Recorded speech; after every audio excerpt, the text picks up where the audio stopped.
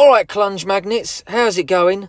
Punk band's new song, Red Rag to a Ball, is out 28th of May, and they're playing a London Clunge Fest on the 18th of August. I can guarantee you it will be filled with yummy mummies who want you to spunk on their tummies. So get down to the social and get stuck in. Honestly, is that your band's name? Punk band? You know?